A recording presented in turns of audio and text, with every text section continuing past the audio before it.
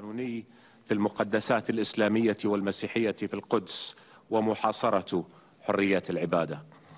ولن يتحقق السلام والاستقرار والأمن ما لم يتجسد حلم أطفال فلسطين حق أطفال فلسطين في الدولة الفلسطينية المستقلة ذات السيادة على التراب الوطني الفلسطيني.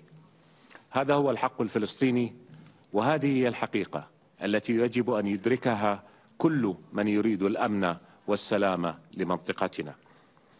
الزملاء الأعزاء الاحتلال والسلام نقيضان لا يجتمعان.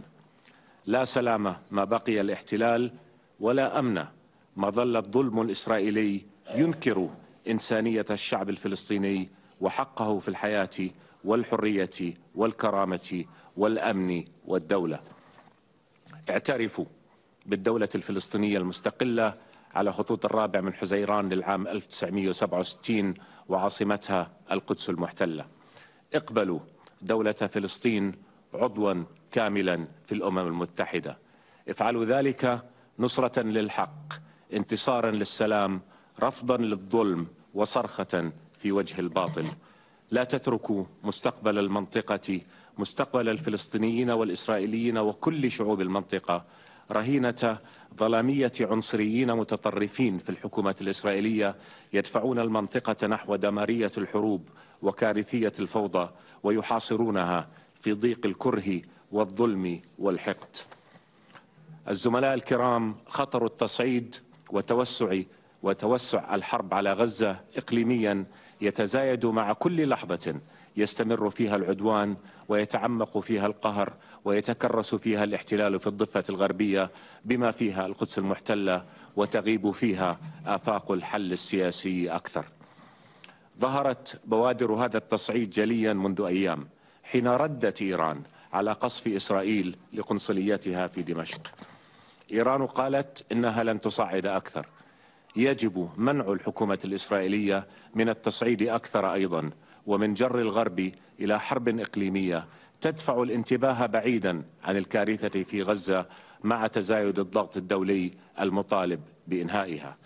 وقف التصعيد ضرورة إقليمية ودولية ويجب أن يبدأ بإنهاء العدوان على غزة وإنهاء الكارثة الإنسانية التي يستمر في مفاقمتها هذه هي القضية الأساس وعليها وعلى وقف القمع والقهر والبطش في الضفة الغربية بما فيها القدس المحتلة وعلى إيجاد أفاق حقيقية للسلام العادل يجب أن يظل التركيز. الزملاء الأعزاء ونحن في المملكة الأردنية الهاشمية إذ نؤكد ضرورة العمل جميعا من أجل الحؤول دون المزيد من التصعيد. لن نسمح لأي كان لا لإسرائيل ولا لإيران أن يجعل الأردن ساحة للصراع. سنحمي سنحمي أمننا وأمن مواطنينا وسنتصدى بكل قدراتنا وإمكاناتنا لأي محاولة لخرق أجوائنا وتعريض أمن مواطنينا للخطر سواء من قبل إسرائيل أو من قبل إيران أو من أي كان. وستظل المملكة الأردنية الهاشمية تقف مع الشعب الفلسطيني الشقيق. ستبقى صوتا للحق الفلسطيني وقوة من أجل السلام العادل الذي يشكل تجسيد الدولة الفلسطينية المستقلة ذات السيادة على التراب الوطني الفلسطين الفلسطيني لتعيش بأمن وسلام إلى جانب إسرائيل سبيله الوحيد. جولة الباطل في فلسطين طالت. جاوز ظلمها المدى وتجاوز قهرها كل الحدود. لن يستطيع التطرف الإسرائيلي مهما بطش ومهما ظلم أن يقتل إرادة الشعب الفلسطيني في الحرية. لن يجلب العدوان على غزة الأمن لإسرائيل ولن يحقق السلام تكريس الاحتلال في الضفة الغربية والقدس الشرقية وتهديد هوية المسجد الأقصى المبارك الحرم القدسي الشريف العربية والإسلامية.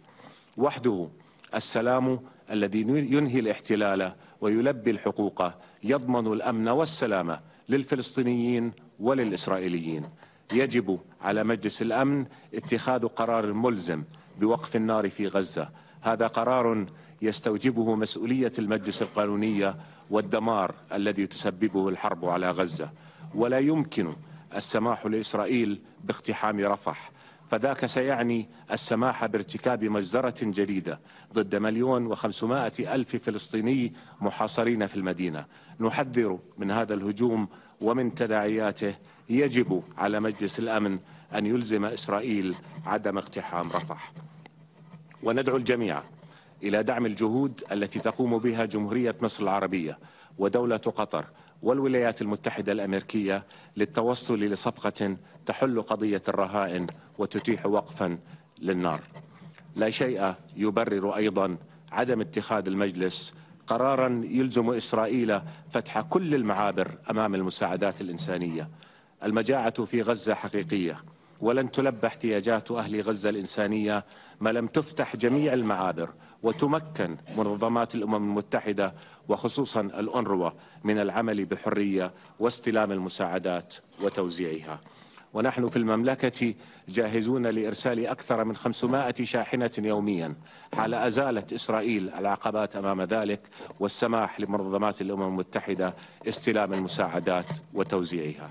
يجب على المجتمع الدولي إطلاق تحرك دولي فاعل وفوري يضع المنطقة على طريق تنفيذ خطة متكاملة لتنفيذ حل الدولتين بتواقيت زمنية محددة وبضمانات تنفيذ ملزمة.